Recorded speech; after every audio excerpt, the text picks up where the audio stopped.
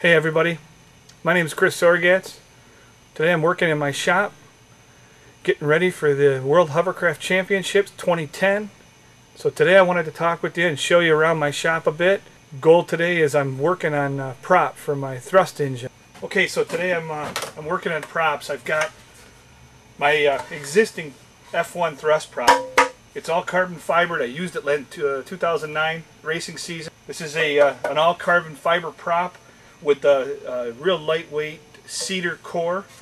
So uh, weighs in about four pounds. It's 54 inches with a, a 60 pitch on it. So it's a it's a cool cool deal. What I'm starting today is making the core, and I've got uh, all my uh, wood laid up, and I'm going to take and start gluing it down here pretty quick.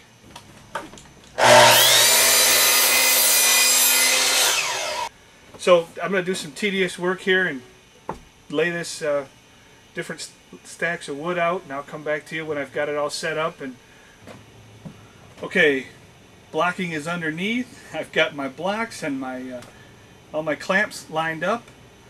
And then uh, so my next step is I uh, I'll, I'll take and I'll wet all the surfaces of the wood down. I use a polyurethane glue. Soak and saturate everything, block it up real quick, and this is how I get a really solid and lightweight piece of wood. I'm just putting things together. I'm soaking the wood so that I can put the polyurethane glue on it. So this glue that I'm using works really good with really saturated wet wood. More humid is better. We'll get on to the polyurethane glue. I use Elmer's polyurethane. This is the best stuff in the world. I think it bonds real well. It expands when it dries, and uh, better in water than any other glue I've ever used in the market.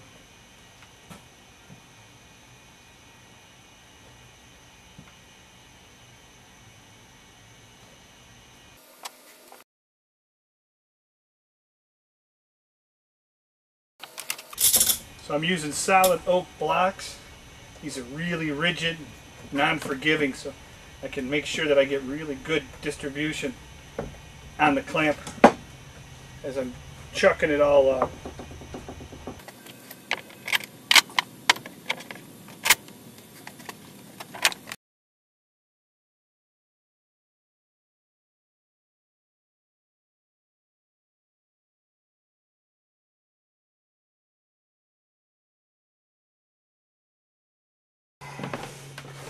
That'll make the forearms burn.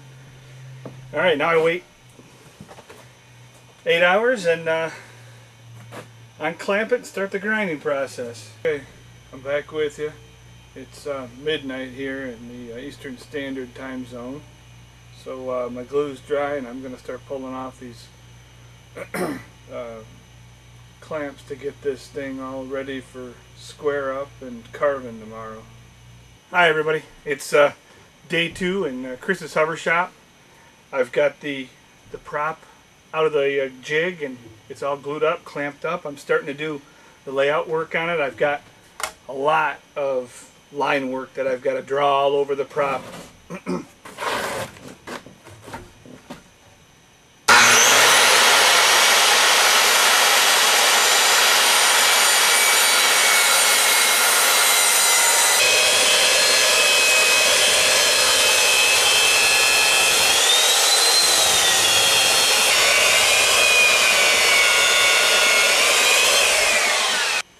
Hey everybody, it's uh, day four prop building, uh, May 5th. So I'm using consecutive days right now.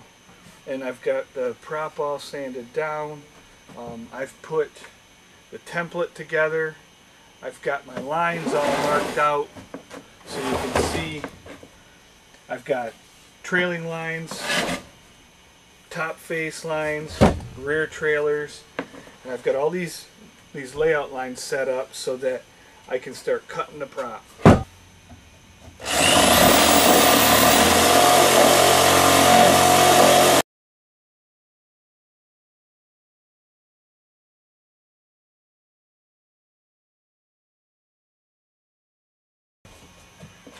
Hopefully you can see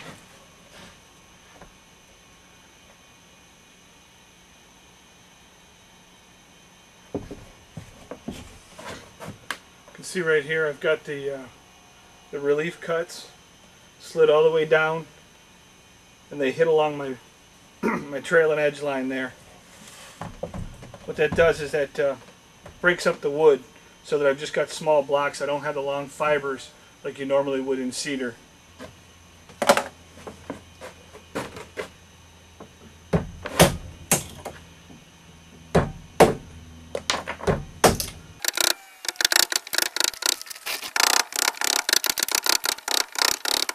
So here's a little better angle. Got my mallet, my chisel, and it's just a slow, tedious process. I always said this sport was all about doing things I like. Well, woodworking is something I love, so yeah, it's slow and tedious, but I don't mind doing it. It's relaxing, doesn't make too much noise. I can do this in about three, four hours. I'll have this all chipped down and ready for a final sand. We'll come back when I get it all worked out. Okay, one of the reasons that I like to use the Sawzall or the, the reciprocating saw is that when I put these lines down, so the saw is a flat face and I've got a top line and a rear trailing edge line. And as I cut through, if I watch my lines, both the front and the rear, then I get a nice flat cut inside. And as I chip this away, each of these lines become a gauge, the depth gauge for me at which point I have to chisel down to. So they break the wood up for me, they break up the long grains, and they also give me a guide as I'm chiseling this face.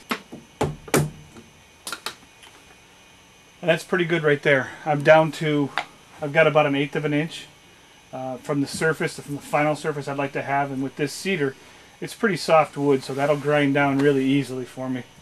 So I'm going to flip the jig around and I'm going to go on to the next face. Okay, so we're on to phase two. And I've drawn some lines on here so you can see what little material that I actually want to keep. I've got a top and a bottom flat surface there. And so this top triangle will come out and then all of this wood will come out. This prop will get quite a bit lighter when I get all finished.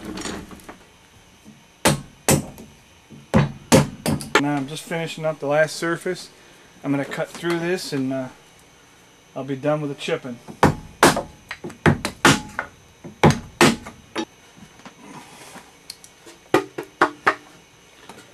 Okay, you can see we're getting down there. It still looks pretty rough. We've got the final shape and uh, it's about 10.30 my time. We're going to wrap it up for the night. It's uh, night five. I'm starting to get a little crazy. It's uh, it's sanding time.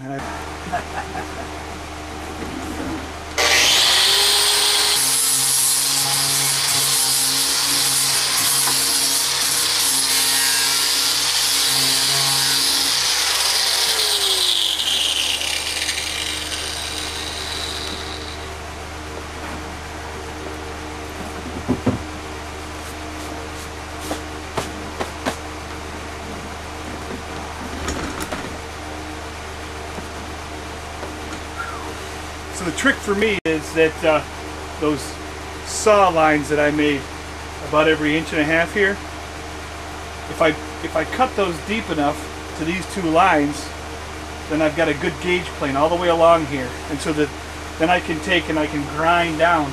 And as soon as I remove those lines, I know I'm at the right depth.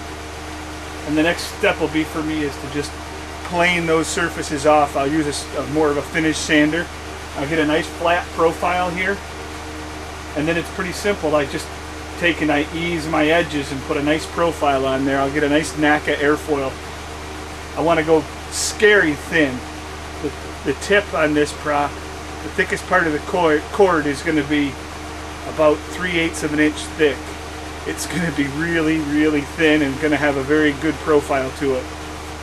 So uh, I'll see you on the other side after I spend a couple hours here uh, day six here in uh, Chris's prop shop. I've got all of my faces good and flat. I'm just getting ready with the belt sander to cut in my fillets. I want to make sure I've got a nice good blend between the root and the tip. And uh, I'm going to keep everything on flat and then the, once I get this fillet cut in and finished, I'm going to start putting the profile in here. So.